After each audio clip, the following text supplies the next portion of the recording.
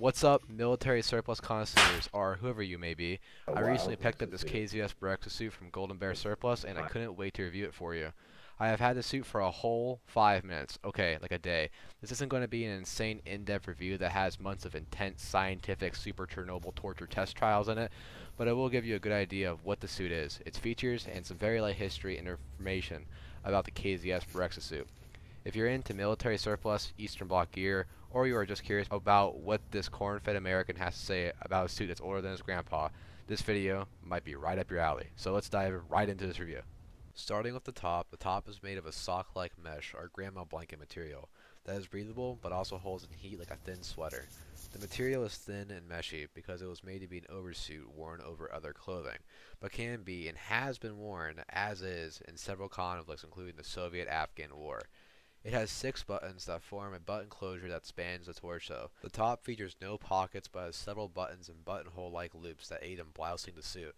On the sleeves there are two buttons that are inside the sleeve. These buttons correspond with the two button loops on the outer sleeve. To use this feature, roll the sleeve as you would of any other military garment, with the top off and rolling neatly and approximately to the size of an ID card or 3 inches wide. Once you get about two rolls in, hook the buttons on the loops and do your final roll. After doing this on both sleeves, it should look something like this.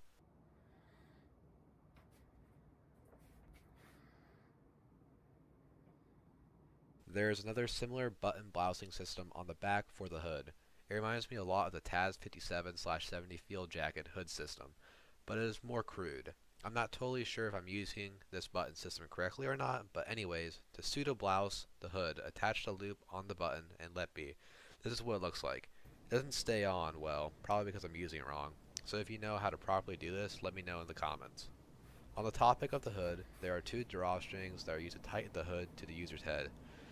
It also should be known that this suit was made for snipers, or at least that's what the internet says, so the hood is oversized to act as a crude veil for peak Spetsnaz bravado. Due to the suit's meshy-like construction, you can actually see through the material while covering your face. All of the top has the same thickness of material excluding the sleeves. Just above the wrist to the end of the sleeve, it is reinforced and noticeably more heavy in material compared to the rest of the suit. I have not seen this in any of my other military garments, but I have noticed that in cases such as the partisan suit and other sniper-style suits, there seems to be more cloth or longer sleeves to cover the hands compared to a standard uniform top. Or maybe it's made to roll up and reinforce the elbows? Who knows? All in all, the top is not a total piece of shit and does have good mobility, and is not constricting. Now moving on to the pants. They are made of the same mesh material that the top is made of and features no pockets or buttons. Instead, there are slits in the sides of the pants that allow pass-through to trouser pockets underneath, at least if you aren't commando. The pants have no belt loops or fly, they are held to your waist simply by elastic. I like this feature because my corn-fed American body can fit into these even though they are 28 to 30 inch waist size compared to my usual 32 to 34 inch medium American pants. The bottoms remind me a lot of pajama pants. No pockets, non-constricting, and stretchy. The only place on the pants that shows a difference in material, or rather thickness, is on the knees, which have approximately double the fabric with similar stitching patterns that remind me of the American BDU style pants, with their knee reinforcements. Overall, the pants fit me well and are long enough to be tucked in boots or worn with tennis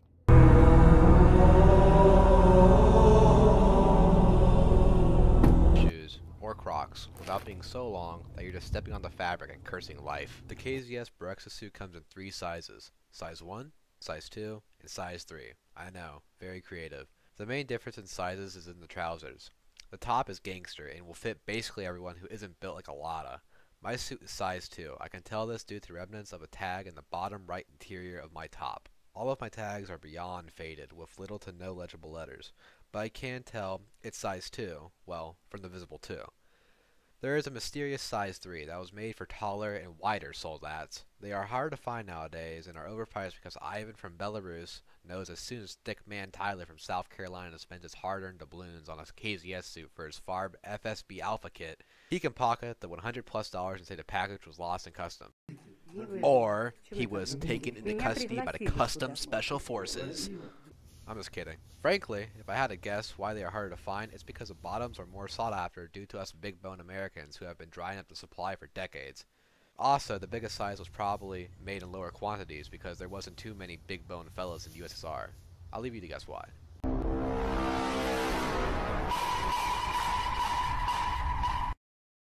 Alright, that's my suit. Now for some history. The KZS Berezka, or Birch suit, started production in the mid-70s, around 1975, and was made for Soviet chemical troops, now known as Russian NBC protection troops, which are basically Russia's version of the U.S. military's CBRN troops.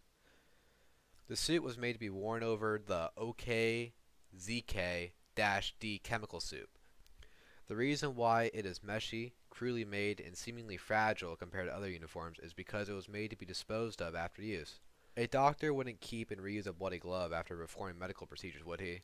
With that look on it, you can see why it was a good idea to not shell out single-use uniforms that were made to last with quality materials. A lot of people believe that the KZS was made for snipers. That would explain the oversized hood I mentioned earlier, wouldn't it? That actually isn't the case. The hood is oversized to accommodate a helmet underneath. It is actually common to find suits that are missing a hood because troops would fieldcraft helmet covers out of the hood. The KZS suit is a real time capsule of the Cold War. A camouflage suit to conceal CBRN troops in a possible near-peer nuclear conflict may have been one of the main purposes of the suit, but like a lot of things issued to soldiers across the globe, it was used in other applications. Even during the Chernobyl nuclear power plant disaster in 1986, liquidators were not seen wearing the KZS suit. Although it makes sense since there was no real reason to conceal themselves during cleanup, however, God knows what was in the plant. Want to know what else was in the 80s? The Soviet-Afghan War.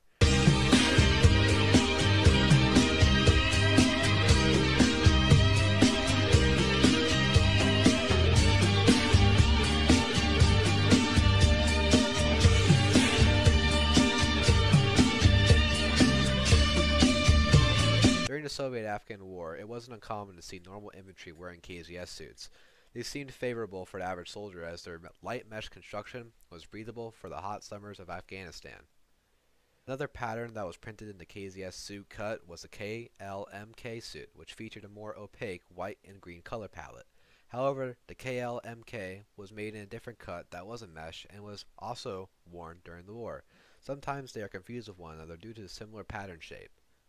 During the 1990s, after the breakup of the USSR, the KZS suit made sporadic appearances in the Russian Federation's military. During this transitional period, KZS suits started to be worn by questionable individuals doing questionable things in questionable places. This is a pattern shared across a lot of Russian gear, as it was surplus and bought up by several militaries, paramilitaries, and militia groups across the world. Nowadays, you will see the KZS suit adorned by airsofters such as myself and in the collections of military surplus collectors. Although the KZS Berezka mesh suit ceased production sometime in the 1990s, the Berezka pattern has lived on being printed on all sorts of garments and is still in use by multiple units in the Russian military and security forces. Now for some closing remarks. I have been wanting a KZS Berezka suit for a long time, so when I saw it listed for a cool 50 bucks on Golden Bear Surplus, I was quick to acquire one. As of the time of making this video, you can still purchase the suit on Golden Bear Surplus's shop. I cannot wait to use this when playing Airsoft and just wearing it for that Cold War drip aesthetic. I do plan on making a video after I use this suit for 6 months or more as a showcase of long-term wear slash use. So stay tuned for that. One of the reasons for making this video is the last review I could find was 7 plus years ago, along with a camo test by the legendary Brent 0331. I hope this video can bring attention back to the KZS Berezka suit so it isn't forgotten, or to help someone learn a little bit more about the suit if they were just curious. I hope you found this video helpful, and thank you for watching, and see you next time. Peace.